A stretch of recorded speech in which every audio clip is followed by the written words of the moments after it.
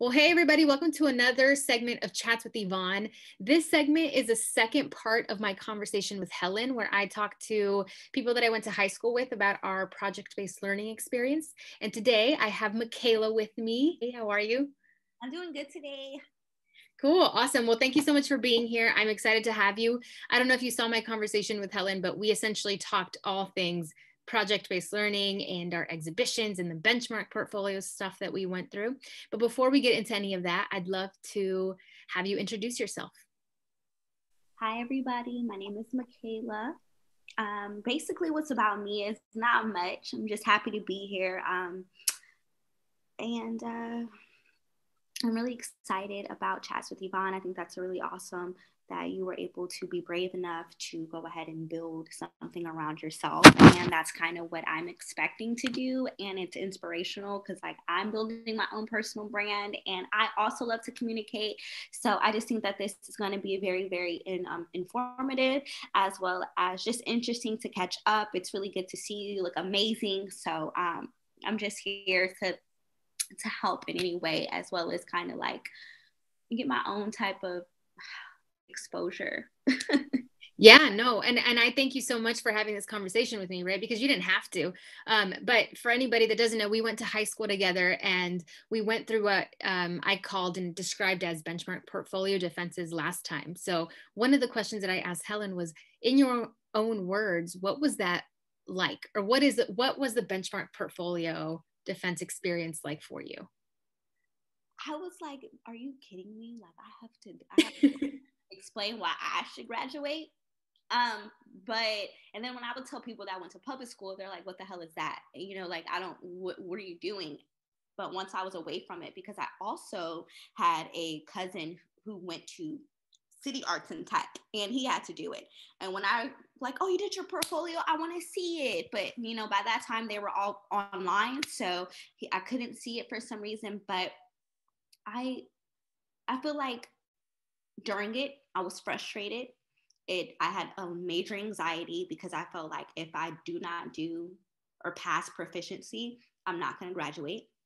But after, once I was done, I was like, that was one of the best experiences in my life because it was like literally taking what we learned and bringing it to the real world. And that was what has kept me in, in college for so long because it's like a lot has happened in life and i do i was one of those students that had to take breaks that um, went to different universities. And the most important thing for me because i love knowledge i had a thirst for knowledge it was that i want to be able to apply this to my real life. And i feel like the benchmark defense was uh, our opportunity in high school to be able to put what we learned in our courses into real life and kind of give like hey I am my own defense. Like we're kind of like talking to the court while like, hey, I can go out and be a, like a, abiding citizen and I can help society. So, you know, but during it was just kind of like, hey, I thought I got my grades to where they needed to be. I got my college acceptance. So what's going on? Like, why is all of this? But I really appreciated the whoever thought of that that was very brilliant. And that i feel like because of how many people of color were like we were all people of color whether we were latino or we were black um, it was like you know we needed to learn how to be able to feel like school or high school was worth it. Yeah and I, everything that you just said resonates with me so much and i agree with you. I think that during the process we were all like what the hell? Like why do, why do we have to do this? Right? And it really isn't until you do that reflection piece where you're like okay it, it makes sense why we had to do this. And actually we were probably one of the few people doing it right? Like no one else that i knew was in high school giving presentations because you're right.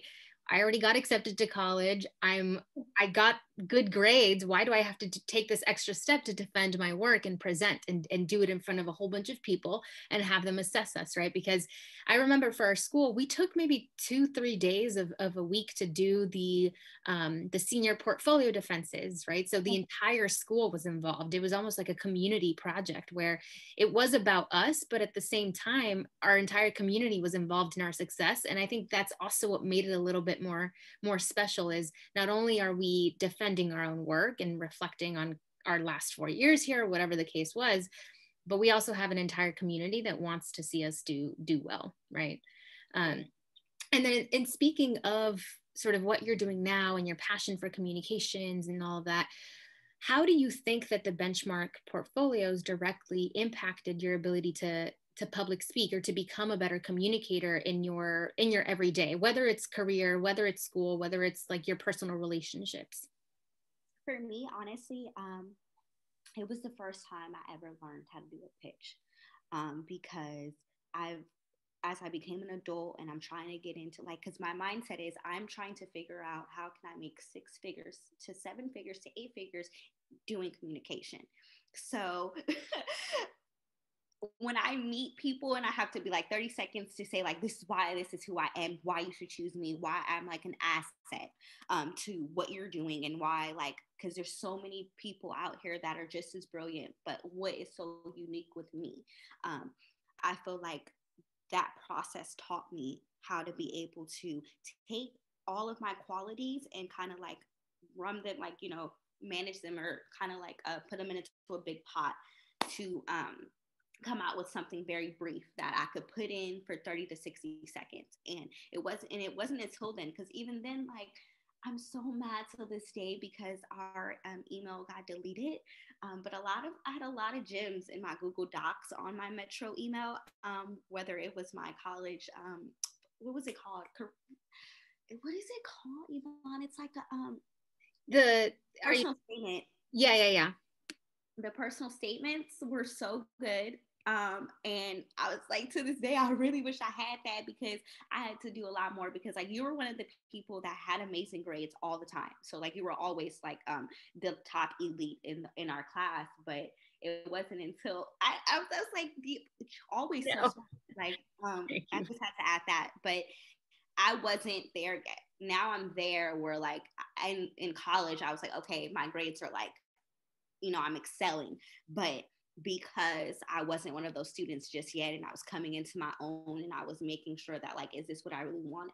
Um, I had to say a lot more like okay I know I have a 2.0 but look this is da, da, da, I was able to do a 180 and I'm like really an, a testament for that. So that's kind of what I like to speak about when I'm trying to pitch about me. I'm like hey I came from being like you know a girl that literally you didn't know what I was going to do with my life. You didn't know if I was going to be here five to 10 years from now. You didn't know if I was going to try to, like, you know? And so then I just turned into someone that literally wanted to fulfill my life. Like, my main goal was to be happy. And then it was like, okay, there's probably people out here that feel just like me. And I just feel like it is my duty or it is a part of my purpose to go ahead and be the vessel for that. And there's a reason why I talk so much. There's a reason why I'm always talking to people, why I'm always super friendly it's probably because I need to do something where I, I use my mouth. So like talking. yeah. And you know, I, I love that you say that because this experience, uh, you know, that we had in high school with public speaking, you know, uh, it, it impacted us in very different ways because we are all very different people. You're right, right? Like I was one of the students where school just worked for me, right? Like I was just okay, cool, do it. But there's other people where school in in its traditional way didn't work, right and mm-hmm. so what i think is so powerful about our experiences is that no matter where in your journey as a student you were this benchmark portfolio or the the, the act and the confidence that comes from engaging in public speaking and engaging in kind of reflecting about your process or whatever it is and then sharing it with the world creates more confident people and it kind of leads us to what we want to be doing, right? Because I agree with you. I love interacting with people. I love talking to people and I also love seeing the transformation in people, right? That that public speaking specifically can can make for them. You know, um, this this idea that you described or this journey that you described of you know, I talk a lot. I love talking. And, you know, shoot, maybe I got in trouble in class all the time because I talk all the time, but there's a greater purpose to that. The reason and and public speaking and engaging with people often is what led you to to sort of understand that about yourself. And I think that's that's awesome. Literally like perfect. That's the way I want to sum it up. I was like, yeah, because it's, it's been a journey. It's been kind of like, but I wouldn't want it any other way. Like I like love my experience, trust my process, and it took time to be able to hone in on that and to accept that and to love that about who you are because it does make for a better like once I get to the end of my marathon and I'm at the finish line, I could be like, wow, I got to experience so much. You know what I'm saying? And that's what it is for. That's what I'm here for, you know. Yeah, yeah. And in your, you know, you sort of described this like 30 to 60 second pitch or whatever it is. What kind of advice or little nuggets can you give people about how to do that? You know, because I agree. I wish I, I, one lesson that we learned from you today already is save all your work in a like flash drive or something so you have it just in case it gets lost somehow um, but the other part of it is this 30 to second 30 to 60 second pitch right? How do you get every all of the amazingness that is you? How do you do that in 30 to 60 seconds? Like do you have any advice for us? Well my first advice is slow down. Um i speak so fast and when i'm nervous it is like times 10 me too. We would be like oh my god that was great but what? So that's my first thing is hey slow down. Um i feel like it the practice like sit down write 10 to 20 things that you are grateful for about your life and what you like about yourself. Like, oh, I really like my hair color. I think that my eyes are beautiful. And then get to where it is for like um, qualities, whether it is, I'm a really good writer, like, oh my God, I'm a great baker, or just things like that, where you can get to pump up your confidence. And so once you see something and you've researched it, like make sure you know what you're talking about when you're talking to someone, make sure you know what they're offering because they're going to be like, yeah, I know what I am. I know what my company stands for, but do you know? So I used to have those type of issues where it was like, that wasn't one of the reasons why I didn't wasn't able or I lost or missed out on opportunities because it was like, oh yeah, no, I never checked out and seen their Instagram. I didn't know what they were doing. Like didn't think about LinkedIn. So LinkedIn's very important. Um, as well as practicing practice with people that you love. You'd be like, hey, your guys are eating, watching, you know, you eating Thai, watching TV with your like your best friend or your significant other, whatever, your mom. You're like, hey, so I really want to get into this PR internship. Can I try my pitch with you? And you know get that type of feedback. But honestly the only opinion that really matters is your own. You don't need anybody's validation but it does really feel good when people support you you know because i also dealt with that. It's like um especially like with my move and everything i felt like oh nobody is clapping for me but i'm clapping for me because it's my life. So i think those are my best advice and um, just slow down speak clearly your tone means everything as well as just know what you're talking about because that helps the confidence and if and then I just talked about building the confidence and, and taking the exercises that I felt were helpful for me to help build the confidence because sometimes you need to uh, run that like uh, use that muscle of self-esteem yeah well well i'm i'm clapping for you um if that means anything and i know that a whole bunch of people are um as well. I, I and I just am going to say this because I can feel your energy through the screen, and I'm sure everybody else will when they watch this. Um, but I really appreciate you saying that, and those are incredibly important pieces of advice. You know, that confidence piece. I always talk about once you're confident in in yourself and your ability to convey something people will feel that and people will gravitate towards what you have to say and this practice piece, right? We don't think about it often, but even conversations with our loved ones can be a form of practicing talking about ourselves or talking about, you know, what's safer space than to do it with the people that you love to then go out into the world and do it with a whole bunch of strangers, right? And and sometimes doing it with strangers is actually easier. Sometimes you know, sometimes like, oh, let me practice with somebody that like I don't I'm not going to see tomorrow or something like that. they know all this about me like what? Yeah. Um and and and so really you sort of have talked about this already but in what ways has public speaking or communications whatever because you know that's that's sort of your your trajectory right now. In what specific ways does that show up? You know how do you see how do you engage in public speaking on a day to day Well, honestly, I am always in jobs where I am the first person you see. Whether I worked at concierge at hotels, I am now a concierge at an apartment complex. So I am always like, "Hello, how are you today? Where can I uh, like send you? Where can?" So I communicate every day. I am always talking to someone. Like, you know, I also have a beautiful roommate, so I'm not like alone. So I do have someone to like conversate with to like help on this journey. I, I, like you know right now with the pandemic and COVID, it's been really hard to see the ones that I love plus I'm three thousand miles away. So it's a lot of like FaceTime. So I'm like on my phone so much, like I cringe to see my screen time on Sundays because I try to keep it down. Like okay, let's yeah five hours, but some day, like some weeks, it's just like 12 hours, 10 hours because I'm on FaceTime. I'm looking, listening to podcasts. So, or listening to audiobooks because they've been a thing for me. So that's literally like what I am in every day. And then communicating through music. Music is one of my favorite things to do. And plus, I am a communications major. So that's what I do have my degree in. So it's like, talking and talking and talking words and words and how like it's one of the most it's like a sacred thing for humans so. yeah and, and you know one of the things that i hope to do through chats with yvonne is de- demystify public speaking right? Because when we think about public speaking, oftentimes we associate it with all the nerves, all the anxiety, all the talking in front of thousands of people, when really it is we we engage in the act of public speaking every day through the things that you just mentioned, right? Whether it's music, whether it's conversations on FaceTime with your loved ones, or uh, you're at the you're the first person that someone sees at an office building, so you're constantly interacting with them, right? So my hope is that we understand that we actually engage in these practices every day. And so, if we can make little changes, little tweaks to our everyday communications, then by the time we get to the point where maybe I can and I will talk about my story or about what my experience is to a whole bunch of people, we're ready for that moment.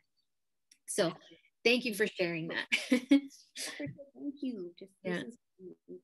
Yeah.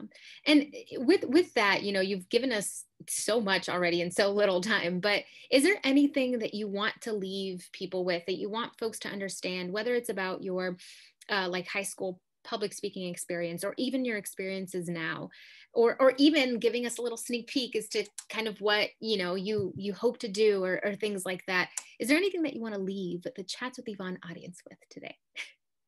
Um it was so good to me. Like this is an awesome like i'm sure the people that actually genuinely watch this are just some of the most amazing people in life. So i just want to say that i'm sending you all of my love I hope that everyone gets to do and be what they want to be in life. And you can do anything you put your mind to. I know that's very cliche to say, but it's my daily mantra because I feel like when I am not, when life is, you know, on my shoulders or it feels like I am falling down or failing and failing is good i do like to fail because at least i can say i tried so mm-hmm. that's kind of another mantra you know and what I expect to do, my end goal in life is that I will leave a legacy and I want to be able to own my own production company because it's been relatively hard to try to get into entertainment. And I feel like, okay, there's not a lot of seats at different tables. So I want to build a table. Yep. Sometimes you have to create it. Totally.